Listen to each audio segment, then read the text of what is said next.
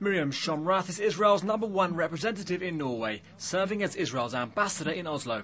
But sometimes even diplomats have a short fuse.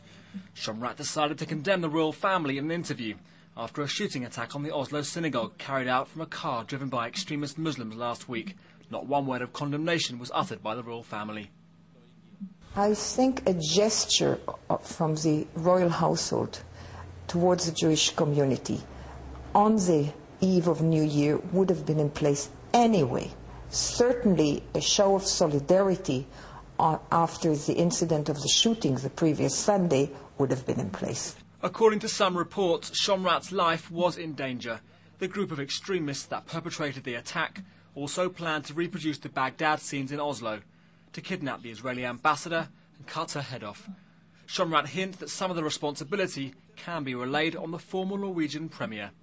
It contributes to a certain uh, defamation of Israel.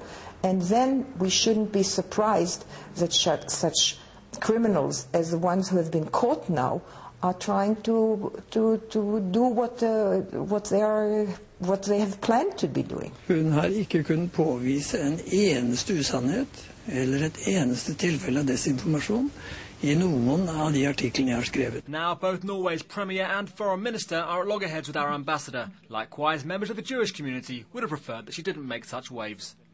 Jeg opplever at det blir en sånn sammenblanding av at folk lurer på er vi eh, israelske borgere, norske borgere, hvem The Foreign Ministry announced that the ambassador had no intention to offend anyone and that her words were misinterpreted. It's unclear whether these displays of anger, emitted by former ambassador to Sweden, or the unpleasant commentaries of our ambassador in Norway, will do much for Israel in its attrition amongst Scandinavia's public opinion.